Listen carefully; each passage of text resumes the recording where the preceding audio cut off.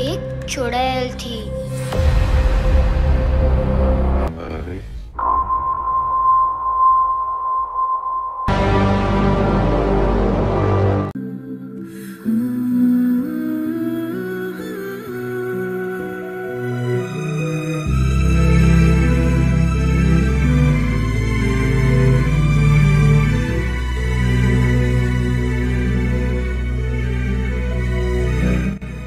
Hello everyone welcome to my channel this is me Sharmin Suma আর আজকে আমি বুলবুল movie থেকে inspired হয়ে বুলবুল মুভির নায়িকা বুলবুল অর্থাৎ তৃপ্তি ডিমরির এই মেকআপ এবং হেয়ারস্টাইলটি তোমাদেরকে করে দেখাবো।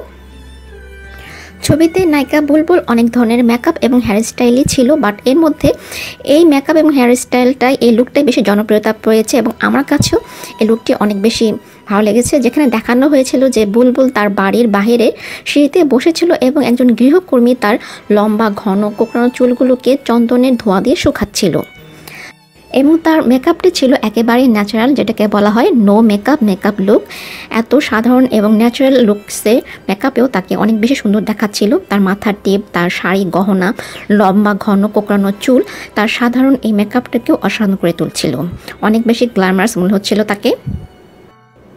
সো আমি আজকের এই টিউটোরিয়ালটিতে তার সেই লুকসটাই ফুটিয়ে তোলার চেষ্টা করেছি। আশা করছি তোমাদের ভালো লাগবে। যদি ভালো লেগে থাকে, তাহলে অবশ্যই ভিডিওটাকে লাইক করবে এবং চাইলে তোমরা ভিডিওটি শেয়ারও করতে পারো বিভিন্ন গার্লস গ্রুপ এবং সোশ্যাল মিডিয়াতে আর বুলবুল মুভিটি একটি হরল মুভিল হলেও আসলে এখানে মেয়েরাজের যুগ যুগ ধরে বিভিন্নভাবে অত্যাচারিত হয়ে আসছে ঘরে বাড়ি এবং সমাজের মাধ্যমে, সেটাই তুলে ধরা হয়েছে। আমি এখানে প্রথমে হেয়ার স্টাইলটা দেখাবো, তারপরে আমি দেখাবো বুলবুলের মেকআপ লুক তাহলে চলো শুরু করা যাক।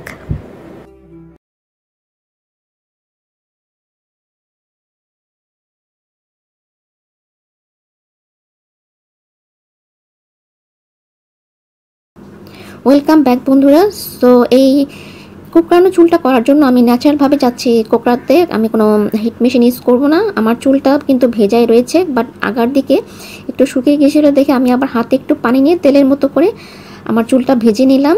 আমি একটু আগে শাওয়ার নিয়ে নিয়েছিলাম। সো আমার চুলটা এখনও হালকা ভেজা রয়েছে আর হালকা ভেজা অবস্থাতে কিন্তু তোমাকে এই স্টাইলটা করতে হবে। যদি তুমি ন্যাচারালিভাবে কোকড়াতে চাও ওই কোনো কালার মেশিন ছাড়া। সো আমি সামনে থেকে এভাবে চুল নিয়ে আমি এরকম করে পেঁচিয়ে নিচ্ছি। পেঁচিয়ে তারপর আমি একটা ইলাস্টিক দিয়ে এটাকে সুন্দর করে আটকে নিব। এবং এটা ভালো হয় তুমি যদি রাতে করো ওভারনাইট রেখে দাও সারা রাত ওই অবস্থা ঘুমায়, সকালে যদি খোলো তাহলে বেশি কিন্তু কার্ল হবে। আর এভাবে রাখলে তোমাকে অবশ্যই সাত আট ঘণ্টা রাখতে হবে। আর যদি তোমার হাতে সময় না থাকে, তাহলে অবশ্যই তুমি কাল মেশিন দিয়ে করতে পারো। বাট আমি কাল ইউজ করতে চাচ্ছি না, তাই এভাবে ন্যাচারালিভাবে করে নিব। এবং চাইলে কিন্তু তোমরা এটা বেনেও করে নিতে পারো। আমি এভাবে পেঁচিয়ে পেঁচিয়ে নিলাম, কারণ আমার চুলটা কিন্তু এমনিও হালকা একটু কোকড়া। আর একটু বেশি যেন কোকড়ানো দেখায়, সেজন্য এভাবে করে নিলাম। সো এই অবস্থায় আমি সাত আট ঘণ্টা থাকব।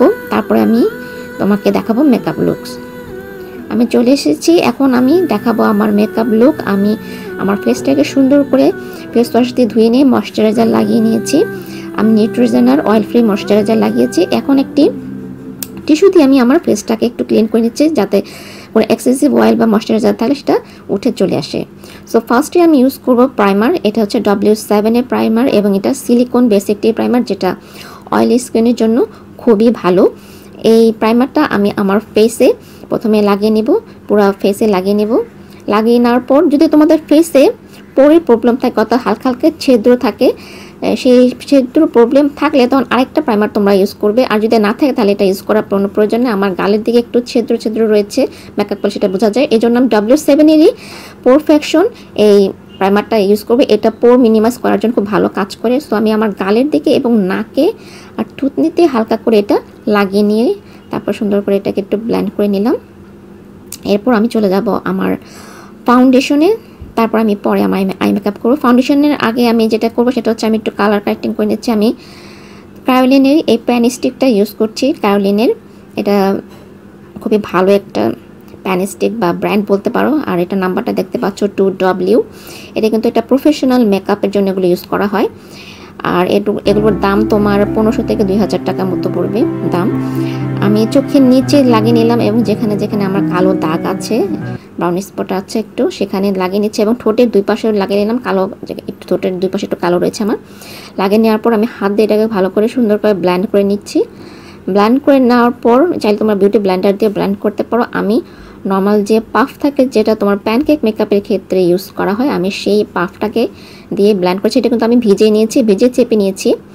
এরপর আমি এটাকে পাউডার দিয়ে সেট করে নিচ্ছি। আমি রিমেলের স্টেমিটি পাউডারটা ইউজ করেছি।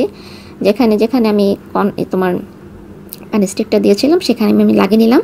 এরপর আমি চলে যাচ্ছি আমার ফাউন্ডেশনে আজকে আমি প্যানকেক মেকআপ ইউজ করছি, এটাও কার্লিনের এবং এটার নাম্বার হচ্ছে এফ এস থার্টি এইট দেখতে পাচ্ছ এটা শেডটা কীরকম। এটা মোটামুটি সব ধরনের স্কিন টোনের লোকরা ইউজ করতে পারে। আমি পাকটাকে আবার পানিতে ভিজে নিলাম ভিজে নিয়ে তারপরে কিন্তু চেপে নিচ্ছি আমি। চেপে নেওয়ার পর প্যানকেকের উপরে ঘষে তারপর আমি এটা লাগাবো। আর এটাতে কিন্তু একটু বেশি পানি ইউজ করতে হয় কসমিক বা তোমার গোপীনাথে কিন্তু কম পানি লাগে। বাট ক্রায়োলিনের প্যানকেক ইউজ করার ক্ষেত্রে পাফে বেশি করে পানি নিয়ে নিতে হবে। নিয়ে ঘষে তারপর আমি এটা ড্যাব ড্যাব করে প্রথমে পুরা ফেসে লাগাবো। দেন একটু শুকিয়ে আসলে আমি সুন্দর করে এটাকে ব্র্যান্ড করে নেব। আমি অল্প করে নিচ্ছি। আবার আমি নিচ্ছি। একবার লাগানোর পর আমি আবারও নিয়ে এটাকে ভালো করে লাগিয়ে নিব।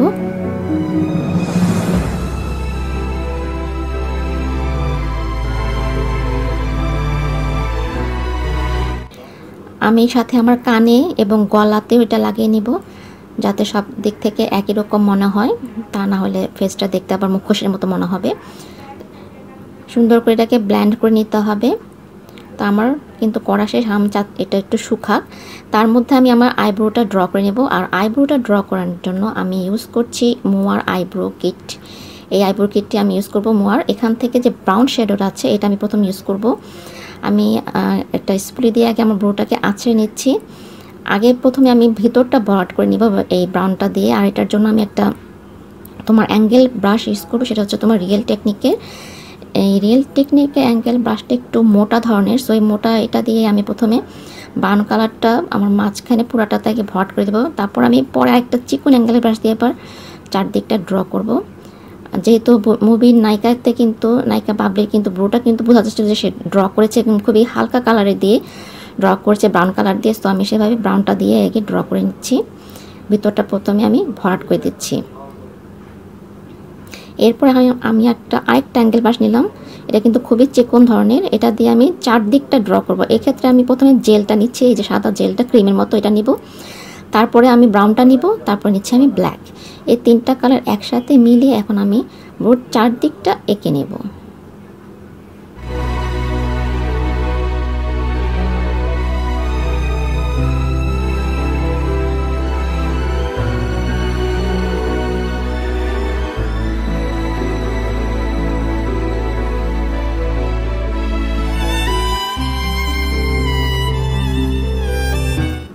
আমার ব্রু আঁকা হয়ে গেছে, এখন স্পুলিটা দিয়ে আমি এটাকে ব্ল্যান্ড করে নিচ্ছি, যাতে করে এটা ন্যাচারাল দেখা যায়, কোনো হার্শ না লাইন না থাকে। সুন্দর করে ব্ল্যান্ড করে নিতে হবে, আর তারপর যদি মনে হয় চারদিকে একটু ছড়িয়ে গেছে বা কোথাও লেগে গেছে, তাহলে এই স্পঞ্জটা দিয়ে একটুখানি প্যানকেক নিয়ে স্পঞ্জের মধ্যে তারপর আমরাকে সুন্দর করে ক্লিন করে নিতে হবে। এখন আমি রিমেলের স্টেমিটি প্রেস পাউডারটাই আমার পুরো ফুল ফেসে লাগিয়ে নিচ্ছি, একটা পাউডার ব্রাশ দিয়ে। লাগানোর পর তারপরে আমি যেটা করব, আমি আরেকটা লুজ পাউডার ইউজ করব। রিমেল এস্টিমেটিভ প্রেস পাউডারটা কিন্তু অয়েল স্কিনের জন্য খুবই ভালো। এরপর আমি সাধারণত যেসব জায়গাগুলোতে হাইলাইটার করে থাকি, ওইসব জায়গাগুলোতে আমি ডাব্লিউ সেভেনের এই ব্যানানা পাউডারটা ইউজ করছি। এটার কালারটা কিন্তু ইউলিশ ধরনের। সো যেসব জায়গাগুলোতে আমরা হাইলাইটার করে থাকি চোখে নিচে, তারপর তোমার নাকের উপরে থুত নিতে, সেসব জায়গাগুলোতে আমি এই পাউডারটা লাগিয়ে নিয়ে ভালো করে ব্রাশ দিয়ে ব্ল্যান্ড করে নিলাম। এখন আমি চলে যাব কন্ট্রোরিংয়ে কন্ট্রোরিং করার জন্য আমি এই ব্রাউন শেডটা ইউজ করব। এটা হচ্ছে তোমার মিনিস্টারের একটা কন্ট্রোর কিট মিনিস্টারের define and concur contour kit এটা। আর এটার জন্য আমি এই ধরনের ফ্ল্যাট একটা ব্রাশ ইউজ করছি, এটা কন্ট্রোরিংয়ের ব্রাশ আমি কন্টেন্টটা এভাবে করছি যেন মানে বোঝা না যায় যে আমি আসলে খুব হার্শ ধরনের কোনো কন্ট্রোরিং করব না ন্যাচারাল কন্ট্রোরিং করব। আর ব্রাশ দিয়ে এভাবে কন্ট্রোলিং করে নেওয়ার পর তারপরে আমি আবার এটাকে ব্ল্যান্ড করব। আমি দেখাবো আমি কীভাবে করছি। আর যাদের গাল অলরেডি ভাঙা ধরনের চেকন তাদের কিন্তু কন্ট্রোলিং করার কোনো প্রয়োজন নেই। তারা এই কন্ট্রোলিংটা স্কিপ করে ব্লাশানে চলে যেতে পারো। আমি গালে লাগানোর পর হালকা করে আমার কপালে দুই পাশে লাগিয়ে নিচ্ছে এবং আমার জলাইনেও লাগিয়ে নিচ্ছে যাতে ডবল চিনটা বোঝা না যায়।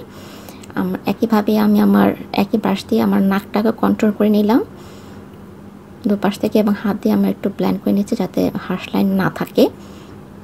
এরপর আমি একটা ব্রাশ নিচ্ছি, এটা ব্লাশন ব্রাশ বাট এটার মধ্যে আমি কিছুই নেই নি এটা একবারে মানে খালি ব্রাশ এমটি ব্রাশ এটা দিয়ে আমি যে কন্ট্রোলিংটা করেছি সেটাকে আমি ব্ল্যান্ড করে নিচ্ছি এই ব্রাশটা দিয়ে। এরপর আমি যে পাফটা ছিল আমাদের, যে আমি যে তোমার প্যানকেক ইউজ করেছি, সেই পাফটা দিয়ে আবার একটুখানি ভালো করে ব্ল্যান্ড করে নিচ্ছি। আমি কিন্তু আর কোনো, তোমার প্যানকেক নিয়ে নিই যেটা ছিল সেটা দিয়েই আমি এটা ব্ল্যান্ড করে নিচ্ছি। এবার আমি চলে যাচ্ছি ব্লাশানে আমি জর্ডানার এই ম্যাট ব্লাশনটা ইউজ করছি। এটা নাম্বার হচ্ছে থার্টি টু রোজ সিল্ক। খুবই সুন্দর একটা হালকা পিঙ্কিশ কালারের একটা ব্লাশন এটা।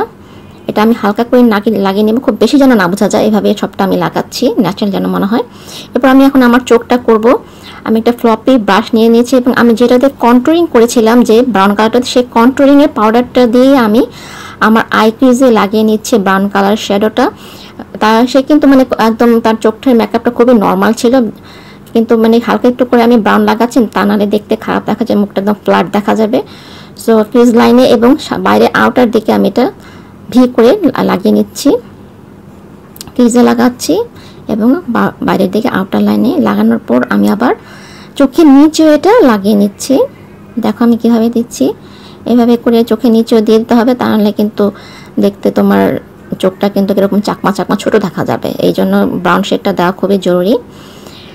এভাবে দিয়ে নেওয়ার পর আমি কিন্তু আর কিছু দেবো না জাস্ট এই ব্রাউন শেডটা ইউজ করছি। এটাকে দেওয়ার নম্বর আমি এটাকে আবার হাত দিয়ে একটু ব্ল্যান্ড করে নিব। যে দেখো আমি হাত দিয়ে একটু ব্ল্যান্ড করে নিচ্ছি যাতে হাঁস লাইন না থাকে, কোনো দাগ টাগ না থাকে। সুন্দর করে ব্ল্যান্ড করে নিচ্ছি, নিচে উপরে সব থেকে আমি ব্ল্যান্ড করে নেব আঙুল দিয়ে। এরপর আমি আমার চোখের নিচে ব্রাউন কালারের আইব্রো পেন্সিল দিয়ে একটু ড্র করে নিচ্ছি। এটা কিন্তু আইব্রো আকার ব্রাউন পেন্সিল তোমরা ব্রাউন পেন্সিল বা ব্রাউন কাজল যেটাই তোমাদের সেটা লাগাতে পারো। আমার চোখগুলি কিন্তু অত বড় না, একটু মিডিয়াম ধরনের। সো ব্রাউন কাজলটা লাগাচ্ছি যাতে করে আমার চোখটা একটু বড় দেখা যায় এবং এটা দেখতে ব্রাউনটা লাগালে ন্যাচারাল মনে হবে তোমার চোখটাকে। এরপর আমি চলে যাচ্ছি কাজলে। আমি আমার চোখে পাতার উপরে দেখে ল্যাকমের আইকনিক কাজল যেটা বাইশ ঘণ্টা পর্যন্ত থাকে, সেটা আমি লাগাই লাগিয়ে নিচ্ছি একদম চোখের পাতার কাছাকাছি। আমি একটা চিকন করে লাইন করে নিচ্ছি। একদম যে সমান হতে হবে তেমন না জাস্ট তোমার ইচ্ছা মতন একটা লাইন করে নিয়ে আমি তারপর এটাকে স্মাজ করে দেবো। মানে ঘষে এটাকে ব্ল্যান্ড করে দেবো যাতে বোঝা না যায় যে আমি কাজল টাজল কিছু ইউজ করেছি। আমি যে দেখো আই শ্যাডো অ্যাপ্লিকেটর দিয়ে এটাকে ব্ল্যান্ড করছি। যদি তোমাদের সেটা না থাকে, তোমরা চাইলে কিন্তু কটন বার যে থাকে, তুলার কটন বার সেটা দিয়ে ব্ল্যান্ড করতে পারো। সেটা যদি না থাকে, তাহলে তুমি কিন্তু হাতের আঙ্গুল দিয়েও সুন্দরভাবে এটাকে ব্ল্যান্ড করে নিতে পারো। তাহলে সুন্দর একটা স্মোকি এফেক্ট আসবে, দেখতে অনেক ভালো দেখাবে। এভাবে ব্ল্যান্ড করে নেওয়ার পর আমি আবার আবার একটু হাতের আঙ্গুল দিয়ে কাজলের উপর দিকটা একটু করে ব্ল্যান্ড করে নিচ্ছি, যাতে লাইনটা অতটা বোঝা না যায়। দেখো এখন কত সুন্দর একটা স্মোকি এফেক্ট আসছে আমার চোখটাতে। এরপর আমি চলে যাচ্ছি আমার মাস্কারাতে আমি টেকনিকের মাস্কারা ইউজ করছি। আর আমি সবসময় মাস্কারা লাগানোর পর বাকিটা যেটা থাকে ব্রাশে সেটা আমার আইব্রোতে লাগাই।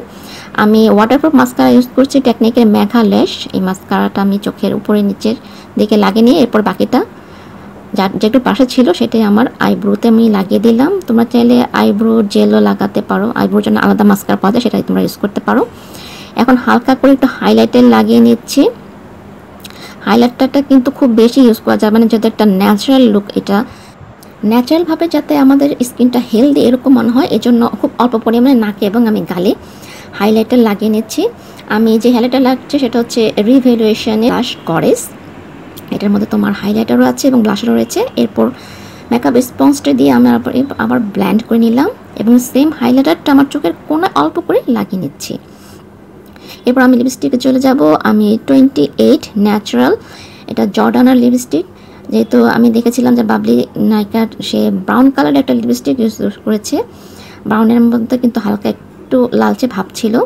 আমি লিপস্টিকটা লাগানোর পর, এরপর সাইডটাতে কিন্তু লিপস্টিকটা লাগানো যায় না। তো আমি একটা ব্রাশ ইউজ করছি। ব্রাশ দিয়ে সাইডগুলোকে সুন্দরভাবে এঁকে নিচ্ছি। আর ওপর দিকে আঁকবো না নিচেরটাই আঁকবো যাতে ন্যাচারাল মনে হয়। এখন সব কিছু সেট করার জন্য আমি এই অয়েল কন্ট্রোল সেটিং স্প্রেটা ইউজ করছি। এটাও রিভলিউশনের এটা লাগানোর পর স্প্রে করার পর আবার আমি পাফটা দিয়ে আমার পুরো ফেসটা কীভাবে ড্যাব ড্যাব করে আমি ব্ল্যান্ড করে নিচ্ছি স্প্রেটাকে এখন টিপ লাগাবো। তার টিপটা কি ছিল তোমার সিঁদুর দিয়ে লাগানো। বাট আমি এখানে ওই ধরনের ক্রিয়েট করার জন্য যেটা করছি, আমি একটা লিপস্টিক দিয়ে টিপটাকে এঁকে নিব। লিপস্টিকটা দিয়ে এঁকে নিয়ে তারপরে লিকুইড লিপস্টিক এটা, তারপর এটার উপরে আমি তোমার আইশ্যাডো ইউজ করছি রেড কালার আইশ্যাডো যে কোনো ধরনের রেড কালার আইশ্যাডো এটার উপর আমি ইউজ করছি। শুকিয়ে যাওয়ার আগে তোমাকে এটা ইউজ করতে হবে। দেখো, এখন কিন্তু দেখে মনে হচ্ছে যেন সিঁদুর আমি লাগিয়েছি। দেখতে পাচ্ছ, সিঁদুর দিয়ে টিপ লাগিয়েছি, এরকম মনে হচ্ছে। এখন আমি আমার গহনা এবং শাড়িটারি সব কিছু পরে এসেছি। জাস্ট খালি তোমাদের সামনে আমার চুলটা এখন খুলবো। সাত আট ঘণ্টা চুলটা রাখার প্রয়োজন ছিল বাট আমি অতক্ষণ পর্যন্ত রাখতে পারিনি। আমি প্রায় পাঁচ ছ ঘণ্টা পর্যন্ত রেখেছি। দেখি কি অবস্থা এখন।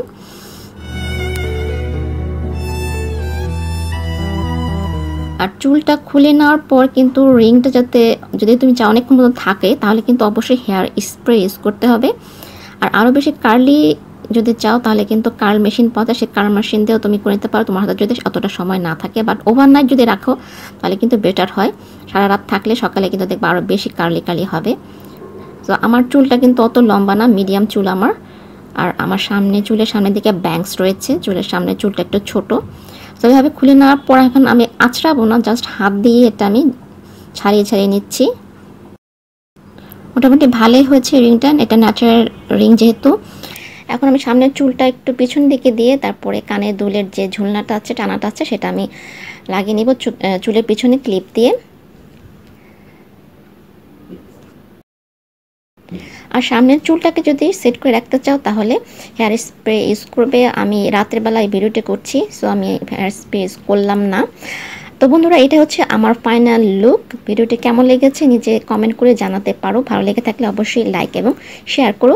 আজকের মতো বন্ধুরা, এই পর্যন্তই। তোমাদের সাথে আমার আবারও দেখা হবে আমার নেক্সট ভিডিও দিতে ততদিন পর্যন্ত তোমরা সবাই ভালো থেকো, সুস্থ থেকো। আল্লাহ হাফিজ লাভ ইউ অল